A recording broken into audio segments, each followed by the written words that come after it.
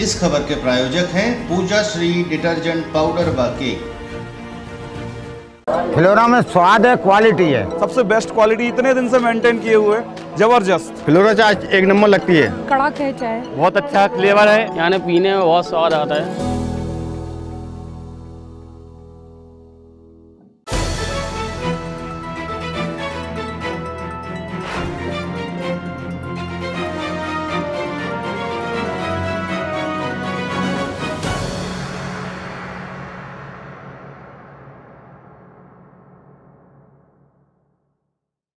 नमस्कार, मैं हूँ केशव तिवारी और अलग अंदाज में रहती हैं खबरें हमारी। मध्य प्रदेश के अंदर भारतीय जनता पार्टी की भले ही स्पष्ट बहुमत की सरकार बनने वाली हो 230 सीटों में एक सीट भारतीय जनता पार्टी ने जीत लिया हो, बावजूद इसके शिवराज मंत्रिमंडल के 12 मंत्री चुनाव हार गए हैं, जिसमें सबसे प्रमुख नाम वर्तमान गृह मंत्री नरोत्तम मिश्रा का लिया जा सकता है।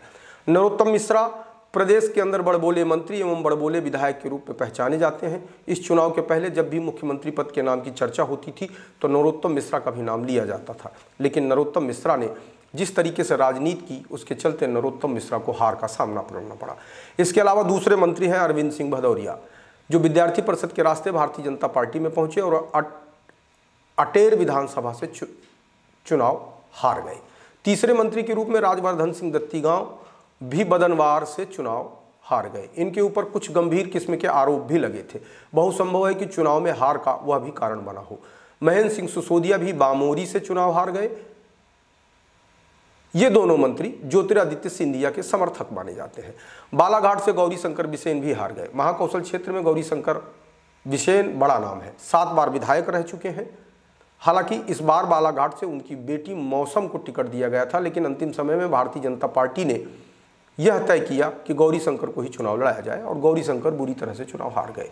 जब ज्योतिरादित्य सिंधिया ने दल बदल करके मध्य प्रदेश के अंदर दोबारा सरकार बनाई थी तो शिवराज सिंह ने शपथ लेने के बाद कमल पटेल को अपने मंत्रिमंडल में सबसे पहले शामिल किया था। कमल पटेल भी इस बार चुनाव में पराजित हो गए। उमा भारती के भतीजे राहुल लोधी जिन्हें चुनाव के कुछ दिनों पहले ही मंत्रिमंडल में शामिल किया गया था, राहुल लोधी भी खरगापुर से चुनाव हार गए हैं। उमा भारती ने राहुल लोधी अपने भतीजे का चुनाव प्रचार नहीं किया था। हो सकता है इस कारण भी राहुल लोधी को चुनाव हारना पड़ा हो। मैहर ज़िले की अमरपाटन सीट से राम खिलावन पटेल भी इस बार चुनाव में पराजित हो गए हैं। इसके अलावा राम किशोर कांवरे परसवाड़ा से तथा सुरेश धाकड़ पुरी से भारत सिंह कुशवाहा ग्वालियर ग्रामीण से प्रेम सिंह पटेल बड़वानी से चुनाव हार गए हैं। ये सारे लोग शिवराज सिंह के मंत्रिमंडल में मंत्री थे। यहाँ पर एक बात का आश्चर्य होता है कि, कि आखिरकार ऐसे लोगों को मंत्री क्यों बनाया जाता है जो अपनी विधानसभा का चुनाव भी नहीं जीत सकते। कम से कम मंत्री बनने वाले व्यक्ति को दो चार दस विधानसभा सीटों की जवाबदारी जीतने की तो लेनी चाहिए। मध्य प्रदेश के अंदर एक बार पुनः भारतीय जनता पार्टी की सरकार बनने वाली है। स्पष्ट बहुमत मिल चुका है। तो कम से कम भारतीय जनता पार्टी के शीर्ष नेतृत्व को यह ज़रूर निर्धारित करना चाहिए कि मंत्री ऐसे व्यक्ति को बनाया जाए जो कम से कम दो चार दस सीट जिताने की ज़िम्मेदारी ले सके। आपको हमारी खबरें कैसी लगती हैं कमेंट बॉक्स में आके कमेंट कर सकते हैं लाइक कर सकते हैं शेयर कर सकते हैं।